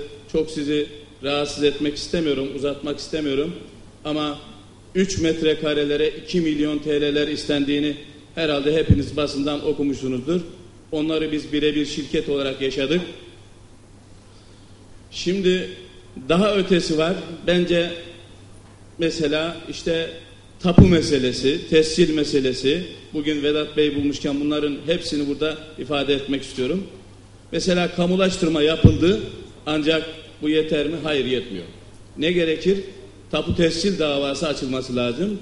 Biz bunun böyle yürüyeceğine inanmıyoruz. Neye inanıyoruz? Reysen tevhid olsun, erken tevhidi yapılsın, arkadan tapu tescil davası devam etsin, sonuçlansın ve inşaatlarda yürüsün. E, aksi halde insanların hevesi kalmıyor. Biz Fikirtepe'ye çok büyük hevesle başladık ama e, yüzde elli şeyimizi kaybettik ona üzülüyorum. Heyecanımızı kaybettik ki biz kaldı ki sadece Fikirtepe'de de geliştirmiyoruz. E, kentsel dönüşüm Ataşehir bölgesinde yapıyoruz. Kartal'da yapıyoruz. Yani ciddi bir şekilde ve Elazığ'da yapıyoruz kendi ilimizde. Bunun daha daha cesaretli adımlarla takip edilmesi lazım. Yetkililerin bunu e, daha sıkı bir şeye alması lazım. Evet yukarıdan kararlar alınıyor ancak aşağıda işler biraz zor yürüyor. Bunları hepimiz buradan dile getirmek iste- ben kendim dile getirmek istiyorum en azından. Doğruları konuşmak istiyorum. Burada bir defa bu mahkemelik durumlar var. Vatandaşın soy isminde bir yanlışlık olmuş. iki yıldır dava devam ediyor. E biz onu tevhid yapamıyoruz. Böyle bir kanun olabilir mi? Bu kanun 1850'lerden gelen bir kanun hala. Bu kanunların değişmesi lazım. Bunları el atmamız lazım. Başkanımızın da burada ciddi bir şekilde bunu daha yukarılarda dile getirmesini temenni ediyorum. Niye? Yani olur mu? Böyle şey düşünebiliyor musunuz? Şunu düşünebilir miyiz? Ve vatandaşlık davası olabilir. Soy isminde bir harf değişikliği olabilir. Olabilir. Ama biz bunun tevhidini yapamayacağız. İnşaat bekleyecek. O kadar insan bekleyecek. Gerçekten bunlar çok sıkıntı. Bunların kentsel dönüşümün olabilmesi için öncelerden master planı yapmak lazım. Biz 2011'li yıllarda toplandık. ilk toplantımızı yaptık. Ali Nuhoğlu beyefendi de oradaydı. Ben çok enteresan sözler söyledim. Dedim ki arkadaşlar biz burada bir şu anda bir adaya talibiz. Bizim adamızdan çıkan araç bu emsalle çıkan araç konvoyu 17,5 yani o araçların kilometresi 17,5 kilometre yapar. Burada 56 tane ada var. Varın siz bunun Edirne'den Kars'a kadar arabaları arka arkaya koysanız bu kadar yapar. Yani biz emsalleri böyle çok artırarak bir yerlere gelemeyiz. Gerçekten bu ülke bizim. Biz buna sahip çıkalım. Hepimiz de duyarlı olalım. Bu meseleye bizler milli mesele olarak bakalım. Kentsel dönüşümün ransal dönüşüm olmadığını her defasında da ifade ettik. Elbette bizler para kazanacağız, müteahhitiz, yatırımcıyız. Koyduğumuz paranın karşılığı neyse çünkü Türkiye'de bir enflasyon var. Onun karşılığını ve onun üstünde para kazanmalıyız ki çalıştırdığımız insanları çalıştırabilelim. Ben Sayın Genel Müdürüme şurada ricada bulunuyorum. Şu tapu meselesine bir eğilirse e, iyi olur. E, ve bu kentsel dönüşüm meselesini de il belediyeleriyle beraber götürülürse daha doğru olur diye düşünüyorum. Aksi halde Çevre Bakanlığı'nın bu bu kadar kadrosu var mı bilemiyorum. Belki de vardır. Bu altyapıya sahiplerdir onu bilemiyorum. Ama çok ciddi bir iş. Elazığ'daki bir dosya Ankara'ya gelecek. Ee, ilçesindeki bir dosya gelecek. Bu meselelerin kendi yerellerde çözülmesinden yanayım. Benim gönlüm bundan yana ama kimseyi kırma gibi, üzme gibi bir niyetim yok.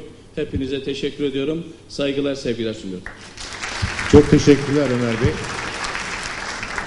Tabii bu tür toplantıların asıl sebebi zaten sektörün meselelerini platforma çıkarması ve anlatmasıdır. Ee, Gerçekten yararlı oldu. Efendim, e, sektörden arkadaşlarımızın ilk tur e, konuşmalarını dinledik.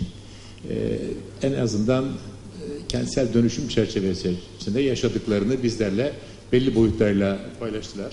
Sorunlar ve öneriler boyunda, boyutunda paylaşan, paylaşan arkadaşlarımıza ayrıca hakikaten e, teşekkür ederim. Çünkü dediğim gibi toplantıların genel amacı bu, asıl amacı bu.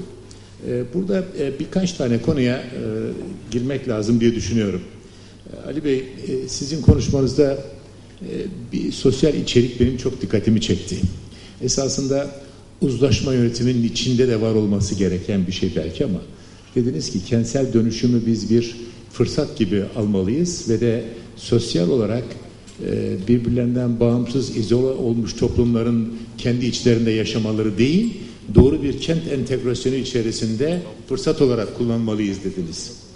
E, ben buna çok inanıyorum. Benim şahsen e, doğduğum, büyüdüğüm Anadolu şehrinde benim delikanlılığımda orada geçti. Sonradan bu taraflara geldim. E, zenginlerle fakirler iç içe yaşıyorlardı. E, birbirleriyle ilişki içindeydi. Komşuluk ilişkisi içindeydi. Çocuklar, ben, e, benim arkadaşlarım e, çok zenginler de vardı, çok fakirler de vardı. Hep beraber top oynuyorduk filan. E, ve bugün hala e, onun tadını değil, onun toplumsal dayanışmaya getirmiş olduğu katkıyı e, bugün unutamıyorum ve de her yerde fırsat buldukça anlatıyorum. Şimdi e, böyle bir çalışmanın sizin e, yani Nuhoğlu olarak bir öneriye dönüşmüş şey var mı? Bunu mevzuatla bağlantılandırmayız mümkün değil ama en azından bir dilekle belki bağlantılayabiliriz. Bunu bu konuda bir açar mısınız? Biraz o, o konu çok kısa geçti. Lütfen onu açar mısınız? Çok dikkatimi çeken bir konuydu çünkü. Şimdi tabii e, bir 30 yılı değerlendirirsek yani bu kent merkezlerinde e, arsa olmaması, parsel bazlı çok küçük e, arsalara mahkum olmamızdan dolayı şöyle bir trend gelişti. Şehrin dışında korunaklı, e, çevresi kale gibi çevrili güvenlikten dolayı, dışarıdan içeriye, içeriden dışarıya izole edilmiş, insanları dışarıdaki sosyal hayattan uzaklaştıran, içeride de kapalı olmasına rağmen komşuluk ilişkilerinin olmadığı.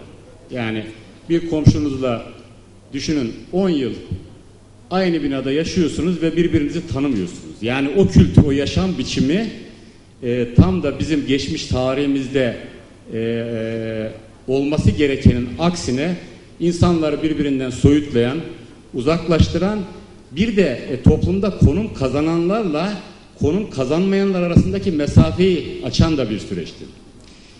Biz bundan dolayı e, 2011'de bu süreç başladığı zaman e, Ömer Bey de e, bu düşüncenin paydaşlarındandır. Hep şunu savunduk. Dedik ki aslında Fikirtepe şöyle bir baktığınız zaman bir muhabbet yeri.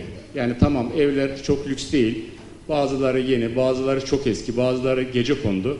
Ama bir sokağa, caddeye gittiğiniz zaman Memiş Ahmet'i tanır.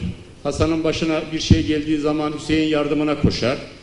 Ee, yani bizim Anadolu kültürünün sonuna kadar bir şehrin merkezinde yaşandığı bir alan.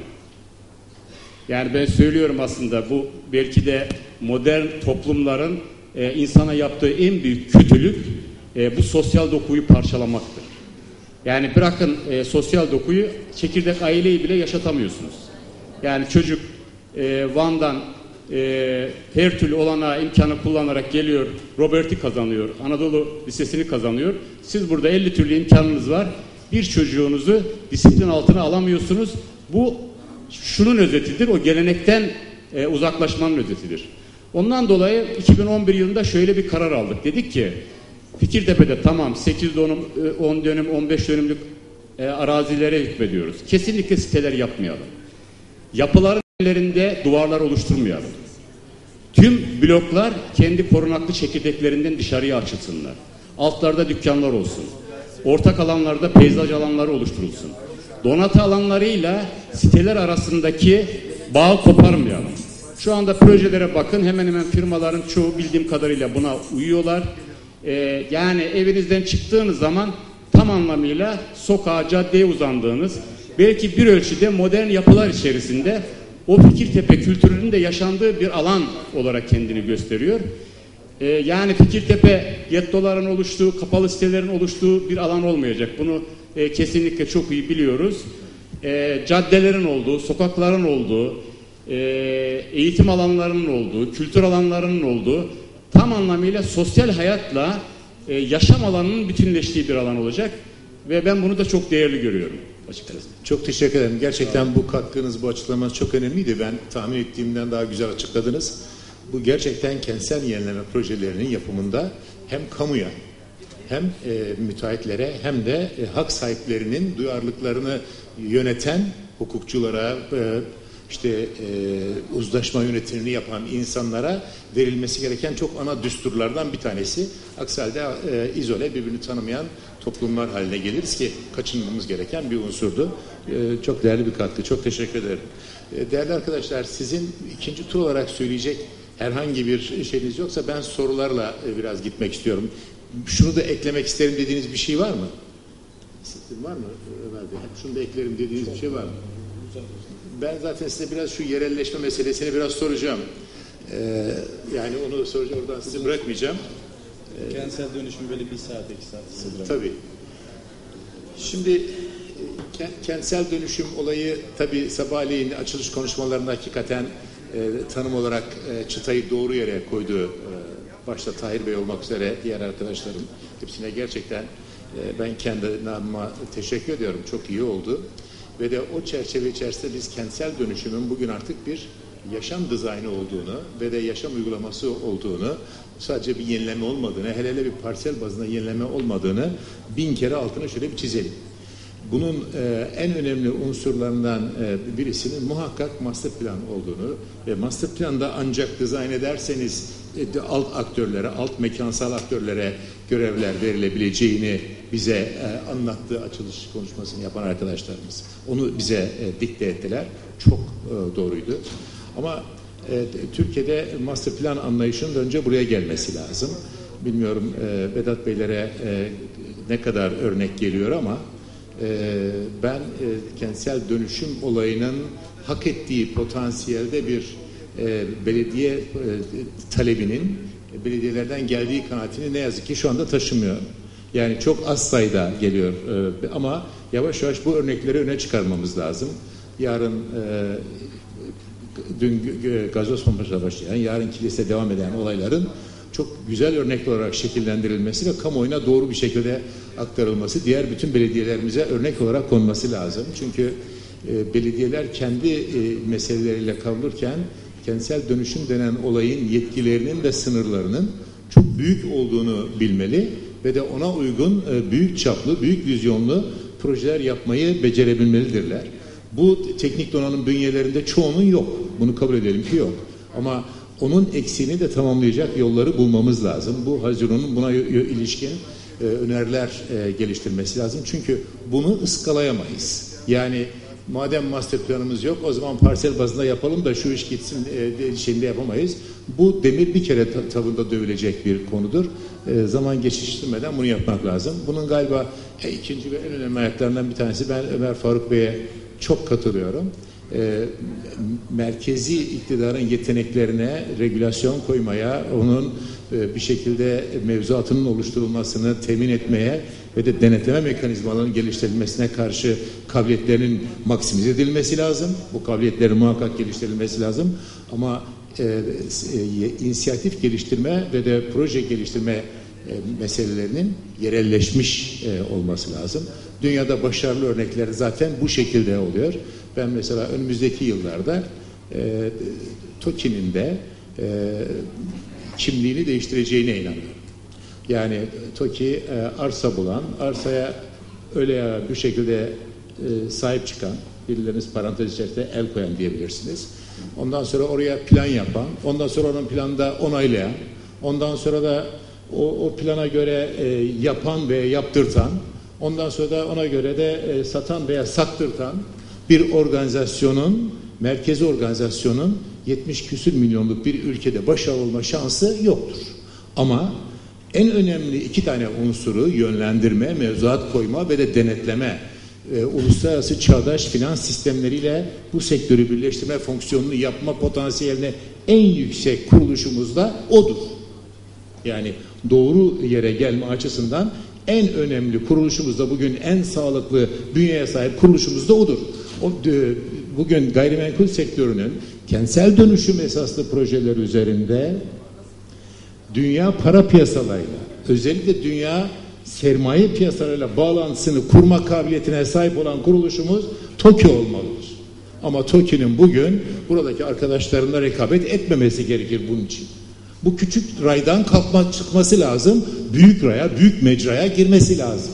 Merkezi organların merkezi fonksiyonlar yapması lazım. Yerel organların da yerel fonksiyonlar yapması lazım. Kentsel dönüşümde bence bugün bu eşiktedir. Bu eşikte düşünür, bu eşikte bunun mevzuatını organize edebilir isek kentsel dönüşüm e, sabahleyin hakikaten Tahir Bey'in çok mükemmel anlattığı çizgileri yakalayabilir. Ama bunu böyle düşünmediğimiz müddetçe bunları çok e, ta- takdir ettiğimiz temenniler boyutunda kalırız diye e, düşünüyorum. Arkadaşlarımın bu konularda söyleyecek sözü olmadığı için ve zamanın da daralması son 15 dakikayı e, izleyicilerimizin sorularına ayırmak istiyorum. E, olabildiğince sorulara e, yanıt vereceğim. Bir tek bir şey rica ediyorum.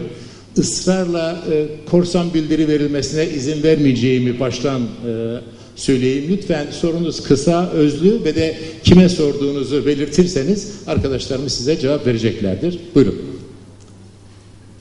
Benim sorum e, Sayın Genel Müdürüm. Kayıt yapılıyor. Bir kendinizi tanıtır mısınız? Ben Nihat Kandaloğlu. Benim sorum Sayın e, e, Genel Müdürümüz Vedat Gürgen Bey'e. Şimdi Fikirtepe için herkes oradaki yükleniciler, müteahhitler dahi feryat ediyorlar. Korkunç bir yoğunluk, korkunç bir nüfus yoğunluğu ve o kent yaşanmaya başlandı mı yaşanamaz hale gelecek bir yer olarak anlatılıyor. Burası için yeni bir planlama düşünüyorlar mı? Peki.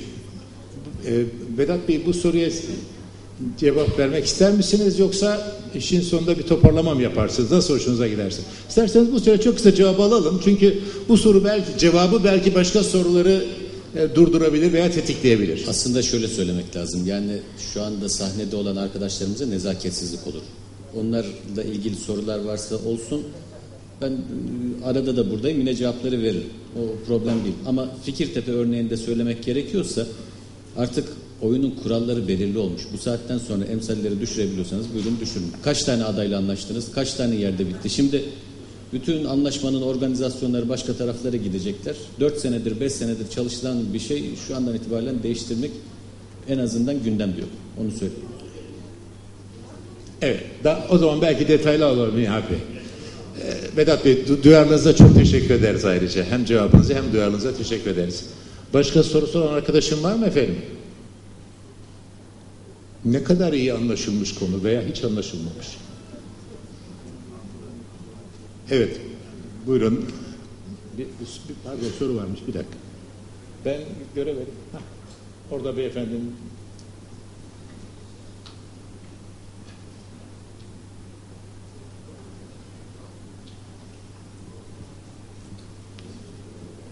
Fikirtepe Dumlupınar Mahalle Muhtarı Ahmet Gediz. Sürecin başından sonuna kadar biz Fikirtepe'de yaşıyoruz. Burada e, Fikirtepe'nin önünü açmak lazım. Bu imarı Fikirtepeliler vermedi. Bu memleketin mimar mühendisleri verdi. Ve inanın Fikirtepe şu anda kriz. Çok zor durumdayız.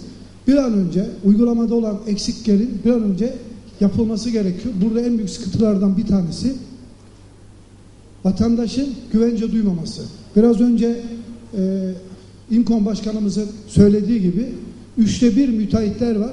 Bunlar gittiği takdirde, gittiği takdirde ve müteahhitliğin tanımı olduğu takdirde Fikirtepe çok hızlı bir şekilde bitecektir. Evet, Teşekkür bu- ediyorum. Bunu bir temenni olarak not ediyoruz. Ee, sorusu olan var mı arkadaşlarım? Kim dediniz? Bir arkadaşımız orada var. Bir hanımefendi. Evet. Tamam. Aslı Gürgen. Ee, Buyurun Aslan. benim sorum şu konuyla ilgili. Ee, şimdi şey dedik, dar gelirli kesimle e, o bölgeye yerleşecek e, daha fazla gelirli kesimin sosyal anlamda kaynaşıp birlikte çok güzel bir hayat sürebileceğini ileri sürdük. Şimdi bizim de gerçekleştirdiğimiz projelerde e, bizim de aslında kaygılarımızdan bir tanesi de bu. Şöyle ki e, dar gelirli insanların bu tür yaşam alanlarında öncelikle e, örnek çok basit bir örnek olacak ama e, yaşadıkları sitenin aidat giderlerini dahi karşılamakta zorluk çekecekler. E, ve dolayısıyla dar gelirli kişilerin burada rahatça e, yaşayabilecekleri konusunda da açıkçası kendi projelerimizde de tereddütlerimiz var. Bununla ilgili de alınması gereken çok özür diliyorum. Önlemler olması gerektiğini düşünüyoruz. Bu konudaki görüşlerinizi merak ediyorum. Kime sorunuz efendim? Sorunuzu kime yönelttiniz? E, Genel olarak bütün haz ürünler. Peki bir arkadaşımız cevap verir. Teşekkürler efendim. Çok kısa Aslında- bir mevzuat açısından şey bu söyleyeyim. soru bu soru gelmezse ben soracaktım. Evet. Şimdi burada benim kafama zaman zaman şu takılıyor. Belediye başkanımız da burada. Çok yaklaştırmayın ağzınıza Bakanlık lütfen. temsilcimiz de burada, müteahhitlerimiz de burada. Ee, şimdi bura 2000 lira, 3000 lira geliri olan bir kişi.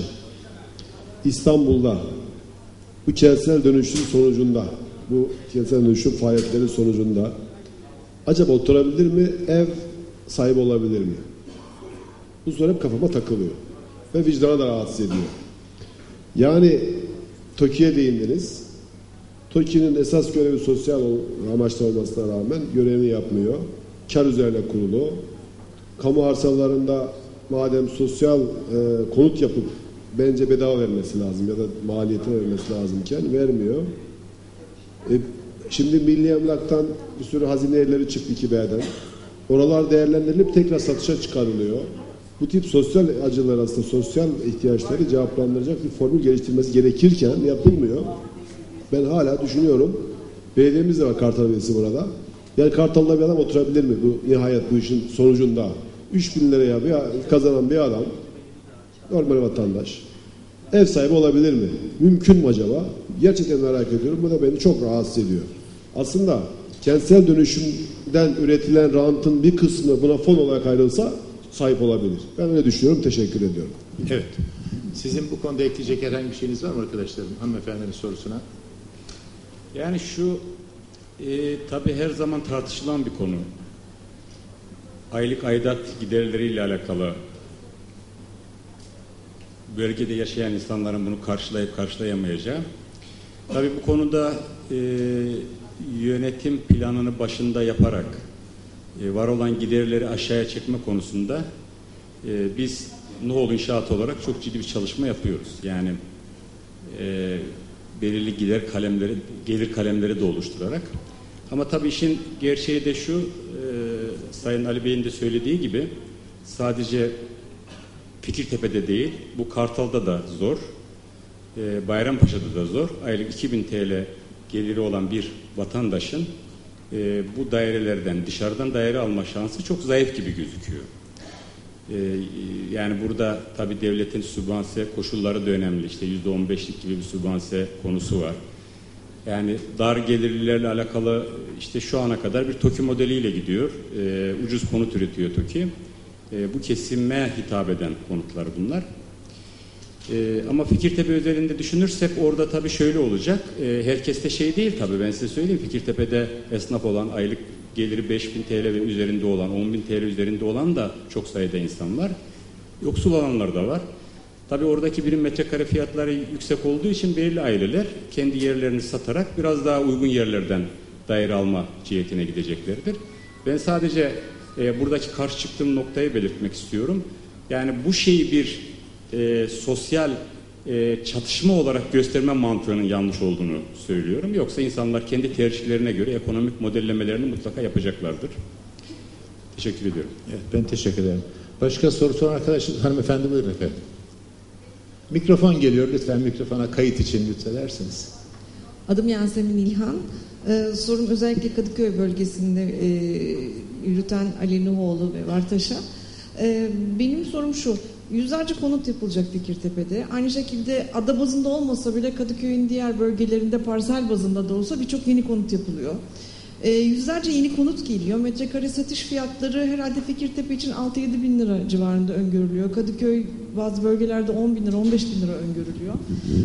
Bu dönüşüm süreci tamamlandığında bu fiyat aralığında yüzlerce konut için e, herkesin bir e, felaket beklentisi var. İşte konut satışları patlayacak, bunlar evde kalacak diye. Sizin bu konudaki görüşlerinizi öğrenmek isterdim. E, size göre bu satış fiyatlarından alıcı bulacak mı yeni konutlar ve e, bu konuda bir daralma e, bekliyor musunuz?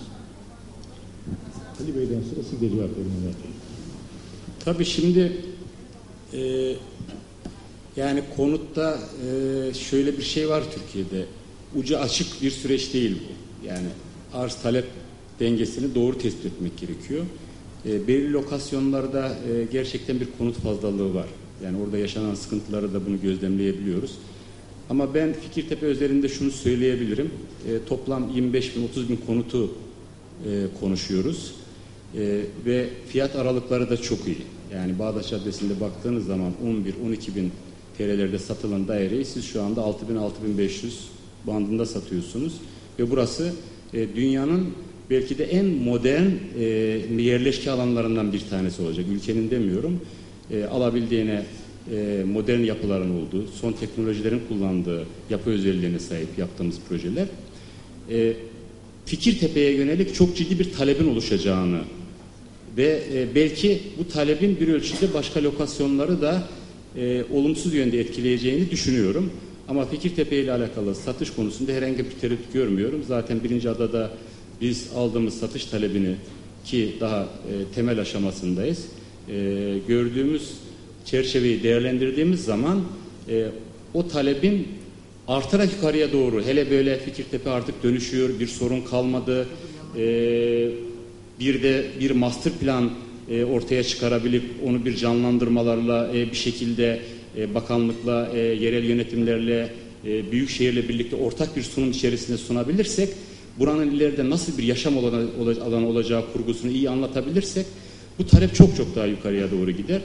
E, bu e, sorunlu haliyle satıyoruz ki iyi haliyle mutlaka çok daha rahat bir şekilde satacağız. Ben bir sorun görmüyorum. Evet.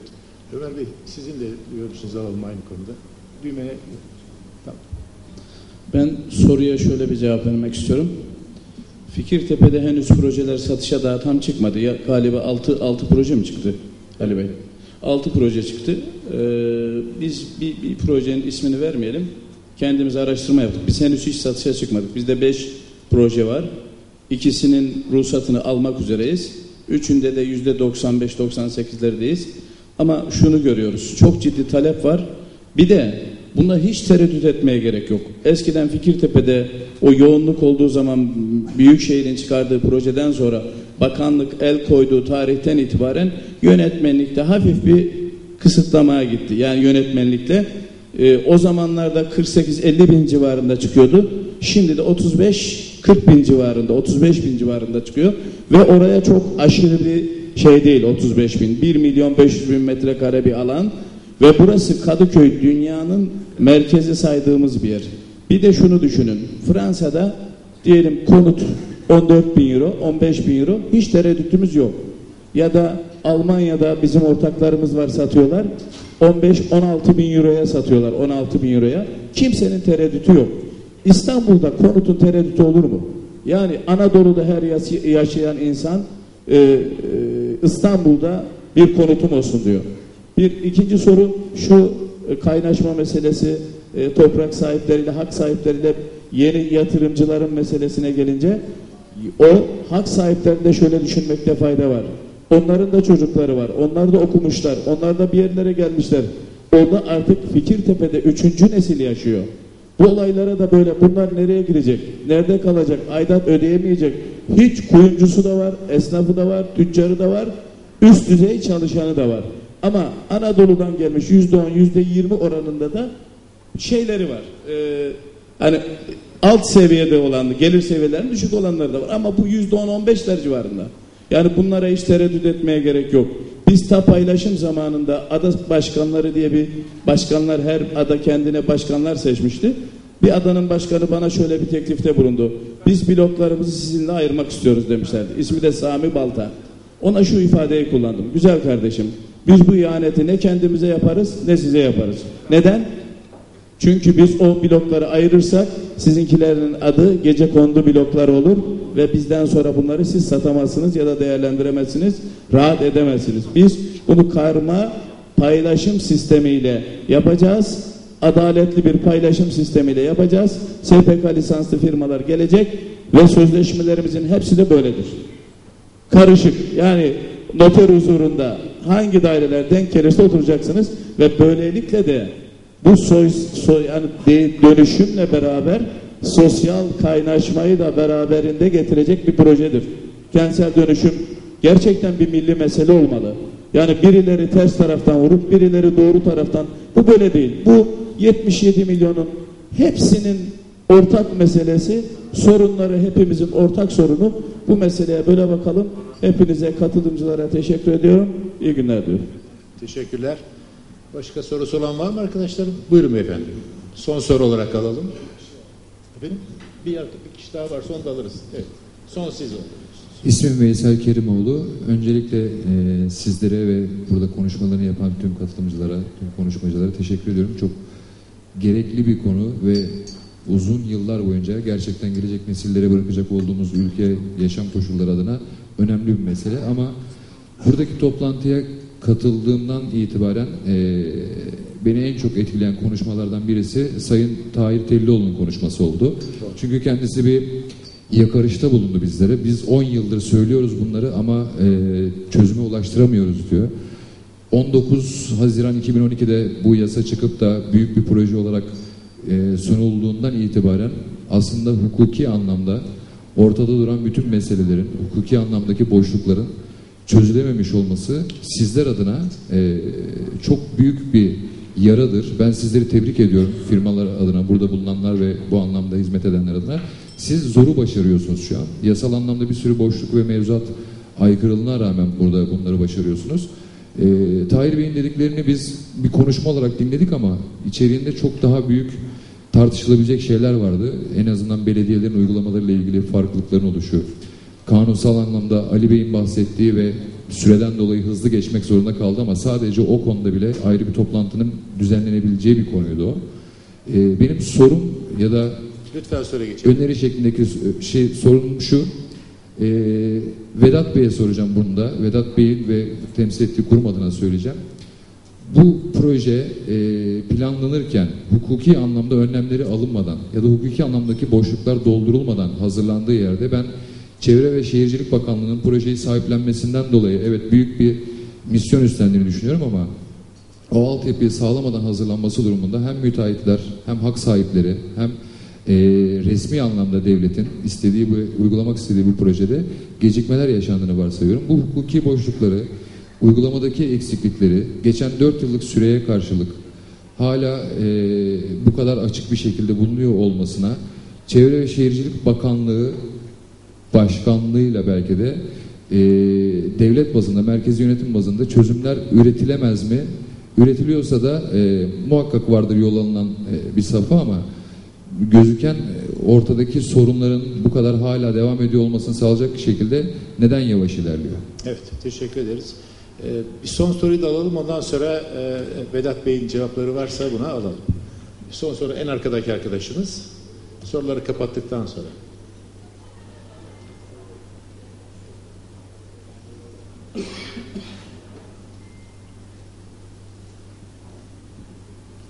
Teşekkür ediyorum. İsmim Mehmet Ali Melik. E, Fikirtepe'nin e, malum Markus tarihini çeken ada temsilcilerinden bir arkadaşınızım. Aynı zamanda da orada yeri olan bir arkadaşınızım. Gönül isterdi ki e, burada genel konuşmaları yapanların birçoğuna e, orada yaşayanların ortak sesini dinleyebilecek bir konuşmacı da ayarlanabilseydi daha iyi olacağını düşünüyorum. Biraz önce bu e, Sayın Ali Noğlu Bey'e çok teşekkür ediyorum. Çok değerli bir tespitte bulundu. Belki soru için bana söz verdiniz, özür dilerim ama bu açıklamayı da yapmakta bir fayda görüyorum. Fikirtepe halkı, tutalım olur mu? tabii, Fikirtepe halkı dışarıdan bakıldığı gibi varoş bir e, olmuş bir mahalle, bir semt gibi görülse de orada yaşayanların birçoğu fakir veya işte vesaire gibi ama unutulan bir şey var. Fikirtepe Kadıköy'ün en eski kurulmuş bir semtidir. Ve unutulmasın ilk mezunları da oranın halkının üniversite mezunudur. Ve bir istatistiğe bakarsanız birçoğu da Galatasaray Üniversitesi'nde okumuş insanlardır. Biraz önce beyefendi bir arkadaşımız bir konuya temas etti. Ee, hızlı hızlı geçeceğim. Emsal değişikliği düşünüyor mu? Sayın Vedat Bey'e bu soruyu sordu. Gerçi Sayın Müdürüm ona cevap verecek ama. Ben de şöyle bir şey söylemek istiyorum. Orada bir yaşayan bir arsa sahibi olarak. Maç oynanırken kural değiştirilmez. Bu sizin önerdiğiniz bir çözüm değil. Burada bir kaos yaratır. Bir hanımefendi biraz önce dedi ki buradaki yaşayanlar aidatları... Cümlenizi alayım ne olur. Ama çok önemli. Bakın, bitti. çok Toplantı önemli. bitti de Bakın, o bakın. aidatınızı nasıl ödeyeceksiniz? Evet. Bırakın bu sorunu biz oradaki yaşayanlar kendi arasında çözsünler. Sayın e, Ömer Bey çok güzel bir konuya değin de bulundu. E, burada arsa sahiplerine danışmadan yer satmaya kalkan müteahhitleri büyük bir kaos biriktiriyor, bekliyor. STK dağılımını biz bir dört gözle bekliyoruz. Sayın Vedat Bey'den de benim ricam var. Bu konuda sağ olsun bir e, yönetmelik çıkardı. Bunun üzerinde çok dikkatli durmasını e, öneriyorum ve e, bekliyorum. Teşekkürlerimi sunuyorum. Evet, teşekkür ederiz. Vedat Bey, e, bir ekleme yapmanız mümkün mü acaba son soruya bir, bir önceki soruyla beraber? İsterseniz kürsüye buyurun. Yani burası aile. Her yer hepimizin. Teşekkür ederim sağ olun. Dedim ya ortak toplantısı, ortaklar toplantısı bu. Şimdi deminden beri bütün konuşmacılar konuşurken ben sürekli not alıyordum. Kimseye mesaj attığımı zannetmeyin. Buradaki konuşmaların notlarını alıyorum orada. Ama özellikle somut olanların mesela Ali Bey'in somut olarak önermiş olduğu kayyım atanması onu not aldım. Onu hemen bir şekilde çözmemiz lazım. O çok doğru. Sizden rica ediyorum. Somut öneriler. Hızlanmanız lazım, hızlanmamız lazım. Hızlanmanın formülü ne? Onu söyleyin. Bakın burada açık yüreklilikle söylüyorum. Bir de tabii toplantının merkezi İstanbul, bu dönüşümün merkezi de İstanbul. Aslında Türkiye'nin kalbi İstanbul. Ama sadece İstanbul'dan ibaret değil dönüşümümüz. Geçen hafta Erzincan'ın köylerindeydik. Orada da dönüşüme ihtiyaç var. Dönüşümü orada da gerçekleştiriyoruz. Evvelsi hafta Erzurum'daydık. İşte kilis diyoruz falan diyoruz filan diyoruz. Ha bir de şunu da söylemek lazım. Arada aldığım notların içerisinde var. Belediyeler kesinlikle bu işin içerisinde yoklar değil. İşin içerisindeler ve master plan olarak içerisindeler. Biz bu sene Kalkınma Bakanlığı'nda sunduğumuz projelerde dönüşüm master planları yapılmasına Kalkınma Bakanlığı kaynak da verdi.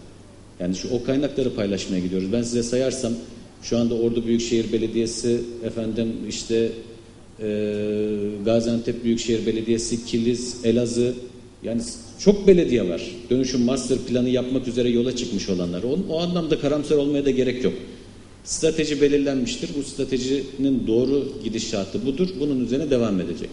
Şimdi kanunun elbette ki eksiklikleri olabilir. Anayasa Mahkemesi'nin de iptal kararlarından sonra biraz daha boşluk olabilir. Ama ben Ali Bey'in olduğu bir ortamda hukuk konusunda ahkam kesmek istemem ama biraz da hukuk icraatla beraber de oluşuyor. Mahkemelerin vermiş olduğu kararlar, o kararlara karşılık bizim almış olduğumuz tavırlar, durumlar ve en sonunda bunların tekrar mevzuat olarak düzenlenmesi lazım. Siz bir kanuni düzenleme yaparken her şeyi dört dörtlük yaptık diyorsunuz ama sizin yaptıklarınız arazide sahada tam uyum sağlamıyor. Mesela ilk başta bu Anayasa Mahkemesi'nin iptal kararları olmadan önce yürütmeyi durdurma kararı verilemez şeklinde bir hüküm vardı. Siz de çok iyi bilirsiniz. Mahkemeler, idari mahkeme, adli yargı birbirinden ayrılmadan dendi ki ihtiyati tedbir kararı verdik ve bir sürü işlemlerimiz durmuştu zaten. Dolayısıyla sahada olan uygulamalar yani yaşamda gerçekleşenlerle mevzuattakiler farklılıklar arz ediyor. O farklılıkları biz toparlayıp düzeltmek görevini üstlenmiş durumdayız. Kanunun içerisinde birçok nokta geçmişte yaşanmış problemleri çözmek üzere zaten konulmuştu oraya. Ha ne kadar çözdü? Evet bir kısmını çözdü. Neyi çözdü mesela? Fatih Belediyesi'nde yıllardan beridir bulunamayan bir vatandaş kayıplık kararı çıkartacaktı. Mahkeme şu belge alacak, bu belge alacaktı. Dönüşemeyen bir ev vardı. Bu kanun çerçevesinde vatandaşın hesabına para yatırılarak olmayan bir vatandaşın o bina tekrardan yenilendi. Böyle bir işleri çözdük. Ya hepsini çözdük mü? Yok, çözmedik. Ama hepsini çözmek iradesiyle ortaya çıkmıştı. Eksiklikler varsa doğrudur ama somut öneriler varsa onları da ekleriz. Kanun yani yaşadığımız çerçeve içerisinde dinamik. Hani bunu bir defa kanunu yaptık bütün işleri çözüyoruz diyemem yani. Ama onunla ilgili somut olarak öneriler varsa bakın şurası aksadı burası yürümüyor bunlar yapılmıyor. Bunları not alalım çalışalım beraber. Şimdi burada da hep Fikirtepe gündeme geldi. Bu Fikirtepe projesi biliyorsunuz 2011'di zannedersem başlangıç tarihi itibariyle. Çok eski bir proje. Buradan ama şunları da öğrenmiş olduk. Biz türü ders çıkarttık. Bir, emsal ateşi her şeyi çözmüyor. Belki hiçbir şey çözmüyor. Abi çok iyi bir ders. Yani neleri aldık neleri kaybettik onların ayrı onları hiç tartışmıyorum ama çok iyi bir ders oldu Fikirtepe'nin bu emsal problemleri. Şimdi diyorsunuz ki emsalleri düşürün. E, hadi bakalım düşürelim. 8 tane firma ruhsat aldı. 10 tanesi ruhsat yolunda bütün işlemlerini tamamladılar. Belge verdi, ruhsat alacaklar. Firmaların yarısı ruhsat aldı. Bu ada ruhsat aldı 4 emsal. Yandaki ada alamadı. Sen bir sonrakini de al. Senden çekmeleri almayayım. 15 metre yol burada, 25 burada. Hayır yani artık bu saatten sonra diyorum ya hep gerçekçilik zemininde oynamamız lazım. Yapılabilecek işler doğru. Bir master plan ihtiyacı var mı? Var. Zaten yapıldı. Hepiniz biliyorsunuz. Maketleri bile düzenlendi. Hazırlandı ama işte farklı stratejilerden dolayı ortada kaldı. Bunu yürütmekte şu anda bir engel var mı? Bana sorarsanız yok. Zaten avan projeler, tasarımlar gittiği zaman bunların üzerinden gidemez mi? Hay hay gidebilir. Bunda da bir sıkıntı yok. Ama diyorum ya gerçekçilik üzerinde bakalım. Kanunla ilgili öneriler varsa elbette ki bunları değerlendirem. Çünkü Anayasa Mahkemesi'nin iptal kararı olduğu için bunların üzerinde elbette bir düzenleme yapılacak. Ama merhem şeklinde olmasın. Ciddi önerileri değerlendirelim. Onlar da bunların içerisine katılalım. İnşallah toparlayalım bu işi ama iş mülkiyet konusuysa, iş tapu konusuysa bunları yapmak da o kadar kolay değil. Onları da söyleyeyim. Yani yıllardan beri de devam eden bir tapu kanunu varsa, bir mülkiyet varsa, bir tarafta insan hakları varsa bunun dengesini de iyi çözmek lazım. Dönüştürüyoruz diye mülkiyet hakkını, insan haklarını da bir tarafa da koyamayız. Ben e, herhalde başka soru da yoktu Sayın Başkan. Teşekkür ediyorum. Çok Sağ olun. teşekkür ederiz Vedat Bey. Değerli arkadaşlar, Vedat Bey'e teşekkürümüzü ederken şöyle toparlayalım çok kısa.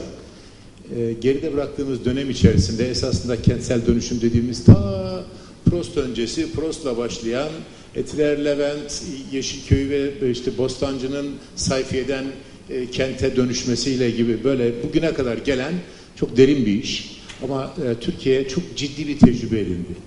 Son 10 yıl içerisinde bu tecrübeyi de e, defalarca katladı.